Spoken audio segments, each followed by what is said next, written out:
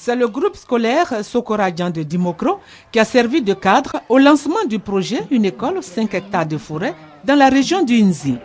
Le site pour le planting de 1 hectare et demi est situé dans la cour de l'école. 2000 plants de teck, une essence à croissance rapide, ont été plantés. Les autorités administratives de la région ont salué la mise en œuvre de ce projet vu l'état de dégradation avancé de la forêt dans la région.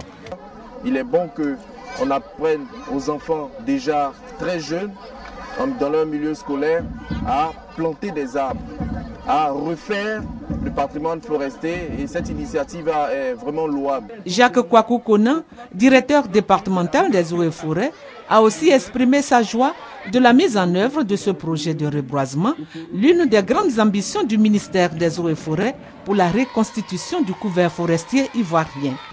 Il a émis le vœu de voir tous les autres établissements scolaires du département de Dimokro se joindre à la mise en œuvre du projet qui permettra le développement d'activités pédagogiques et éducatives sur l'éco-citoyenneté et favorisera la création d'activités génératrices de revenus pour ces établissements.